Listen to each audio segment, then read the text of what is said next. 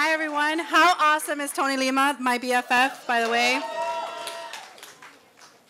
Today, I want to talk about something very important, something I'm very passionate about, and it's your bucket list. Um, while there's 7 billion people on the planet, there are really only three kinds of people.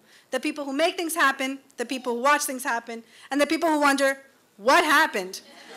I'm so happy and so honored to be in a room with so many of you who are in the first category. Today, I want to encourage you to work on a list of things to accomplish before you kick the bucket. Life has an expiration date, but life is also beautiful. So, you know, there's a lot of things to do, and we should get to it because the bucket list doesn't wait. How many people do you know have passed their time? If we stop to think about our own demise, we hope that we're so old we can't see the bucket. We hope that we've lived so thoroughly that we welcome it. But the bucket doesn't wait, like, as I said you need a plan. Virtually every great thing that has ever happened happened as a result of a plan. Plans don't always work out, but they typically get us moving. We strategically plan our work, we make grocery and to-do lists. So shouldn't we have the same consideration with our own lives? Shouldn't we make a list for that too? Yeah. Yeah. there are seven days in a week, and someday isn't one of them. The day is today. So make your list and recruit your tribe. Start listing and enlisting. The easiest way to get your bucket list is to have moral support. So enlist your friends, your family, get people together, wild them up, and if you want to go skydiving together, it's a lot easier if you have a group and you do it together, right? So get that moral support because our to-do list doesn't look like this right now. We so wished it looked like this. We have a lot to do, so it's best to have moral support, have people helping you, have your friends, have your family supporting you. One of my favorite personal websites for uh, bucket list is uh, 43things.com. This is actually um, 43things.com, the homepage. You can sign up, you can log in through Facebook. Here's some of mine. One of my uh, personal goals that I haven't checked off yet is uh, give $100 to a complete stranger. That's still pending. But, um, but uh, 43things.com is great. It's also one of my favorite numbers. Use the gifts you have. You have so many gifts. And one of your greatest gifts is time. So use it to your advantage. You know, it's, time is, is not forever.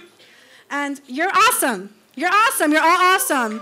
Life is, it's, it's, don't go through the motions. It's very easy to go through the motions and, you know, lead a mundane life and, and the routine, but, but don't. You're too awesome to, um, to not do what you really want to do, right? So be purposeful. Be purposeful with your time. If you want to do something with purpose, put it on your bucket list. Do you want to build a home for the homeless? Put it on your bucket list. Do you want to help someone raise money, a charity that you're part of and that you're proud of? Put it on your bucket list. But do things with purpose because today is the oldest you've ever been and the youngest you'll ever be again. Right? That's why the number one item on your bucket list and one that I live by every day do what you love, do what you believe in. Life's too short, right? And the truth is, sometimes we just need to make ends meet. So we don't do things that we necessarily love. But you know what? If you look at the bright side of everything and make the best of the situation and highlight the best, then you can be happy. It's very easy to be happy. Happiness is a choice, something that my mother always says. And um, we just need to make that choice and, and see the bright side of out of everything. You know, look at the glass half full, not half empty.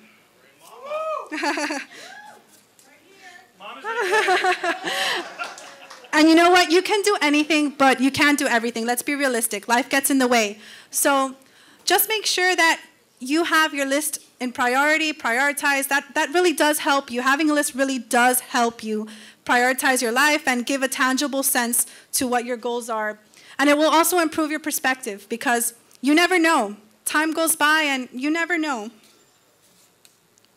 Life is like a box of chocolates, as uh, you know, Forrest Gump says. and since I'm making a pop culture reference, let's bring up the death of Princess Diana or uh, Donna Summer. The truth is, it makes us think of our own demise. You know, it makes us think of our, our own internal time clock, and time is ticking. But life is short, and that doesn't mean that we don't have enough time.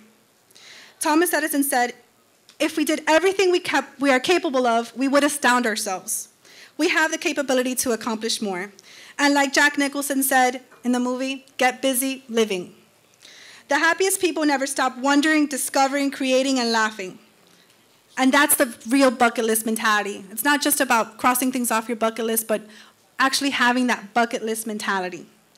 Don't compromise what you truly want by setting limits. Seize every opportunity.